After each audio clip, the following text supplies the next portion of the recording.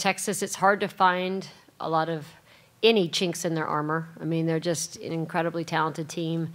Um, play fast, great transition game, great rebounding, um, good depth. Um, obviously, led by their senior backcourt.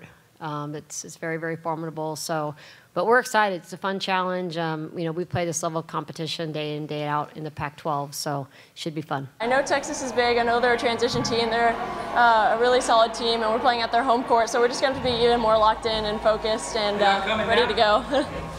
I mean, I mean, yeah, Texas fans are going to be crazy and all that, but we're, we just have to focus on each other, focus on the game. Can't focus on anything. It's about the little things, and we'll be fine. Um, they're really big. Um, like every team, they transition. They have good guards, so I think it will be a good test for us.